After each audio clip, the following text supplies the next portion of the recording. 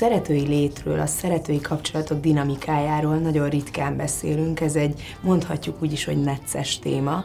Miért olyan aktuális ma? Miért van ennyi szeretői viszony? A legegyszerűbb válaszom, és ez valószínűleg nem lesz népszerű, az az, hogy a férfiak félnek.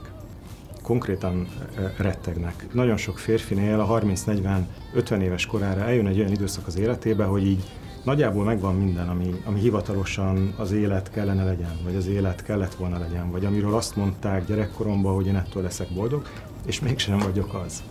És akkor, és akkor most mi van? Ez egy, mondhatjuk akár válsághelyzetnek is, de igazából ez a megújulás lehetőségét hordozza, csak a megújulás az változást jelentene. És félnek a változástól az emberek, és ehelyett pótszerekkel jutalmazzák magukat. És a, a drága hobbi, vagy a vitorlás, vagy az alkohol, vagy a fű, vagy a szerető, és bocs, ezeket egy sorba raktam, de egy nagyon hasonló élethelyzetnek a tünetei, amik közül a férfi azt szerint választ, hogy milyen lehetőségei vannak. Meddig lehet ezt büntetlenül csinálni? Ahogy elmondod, nekem egy kicsit a szeretői viszony, mint hogyha egy ilyen szükséges rossz lenne. Ki lehet keveredni a szeretői viszonyok bűvköréből? Nem lehet büntetlenül csinálni és ez, ez, ez nagyon fontos, ezt nagyon jó lenne több férfinak értenie, hogy, és egyébként nőknek, mert nők is gyakran érintettek szeretői viszonyokba, hogy attól még, hogy nem derül ki, attól még ennek vannak következményei.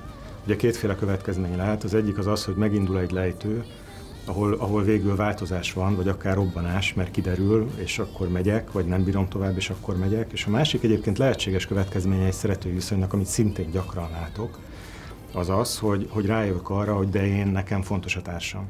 Én, én szeretem a társam, ez az egész, ez nem ér meg ennyit, ilyen ösztönvágyak mentén itt össze-vissza kalandozni a világban, az éjszakában, a munkahelyen, ilyen kellemetlen, titkolózó helyzetekben lappangva, eh, perceket, órákat lopni, ez, ez, ez nem, éri, nem éri meg. Mind a, két, mind a két kimenetel van, és egyébként mind a kettő jó.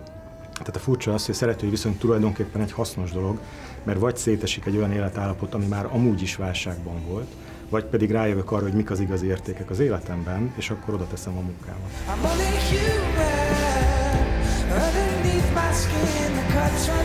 Mikor válik egy szeretői viszony igazán veszélyessé, amikor szerelmesek leszünk? Nem akkor, amikor szerelmesek leszünk, hanem amikor őszinték. Amíg csak szerelmesek vagyunk, az játék, az flirt, az kaland, az ilyen ego projekt, bizonyítom magamnak, bizonyítom a másiknak, bizonyítom a világnak de amikor őszinte leszek, akkor elkezdek, tényleg így a pajzs megreped, és elkezdek darabokat letenni, és a végén ott állok pűrén, egy olyan másik ember előtt, aki kiváltotta belőlem ezt az őszinteséget, ezt a megnyílást, és az, az egészen elképesztően erős. Szeretőnek lenni egyfajta bélyeg. Nagyon sokan azonosítják a gazt csábítóval.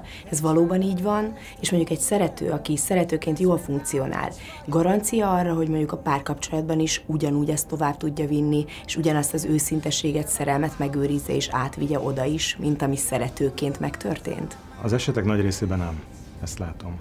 Az esetek nagy részében, és megint kemény leszek, ez sokkal inkább hasonlítható az alkoholizmushoz. Tehát ez tényleg a függés egy formája. Hiány van az életemben, amit betömködök. Tinderezéssel betömködök, szeretői viszonyjal betömködöm valahogy. És fontos a hiányról is beszélni, hogy mi hiányzik. Az emberek nagy részének talán karrierje van, talán munkája van, talán sikere van, talán pénze is van, de lelkesedése nincs. És nagyon fontos, hogy különösen férfiakról kell ezt elmondani, meg jobban érteni szerintem, hogy egy férfi, hogyha úgy dolgozik, hogy sok pénzt kap, attól még nem lesz boldog. Bármennyi pénzt kaphat, és akármennyi hatalma van, ettől automatikusan nem lesz boldog. Egy férfinak kell, hogy büszke lehessen magára.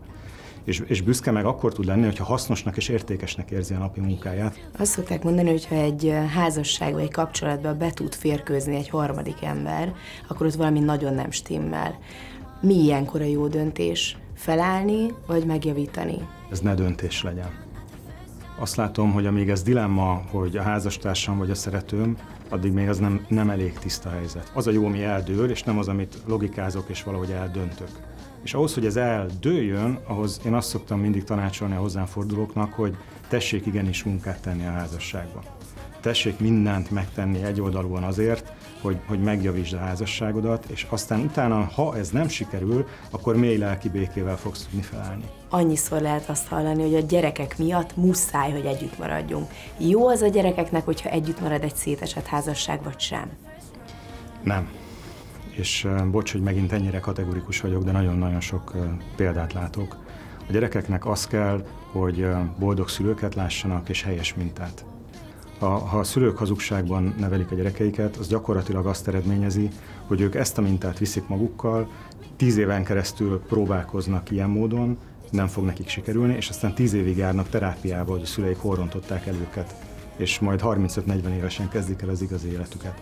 A gyerekeknek nem az a jó, hogyha a biológiai szüleik mindenáron együtt maradnak egy hazugságban, hanem az a jó, hogyha boldognak látja őket.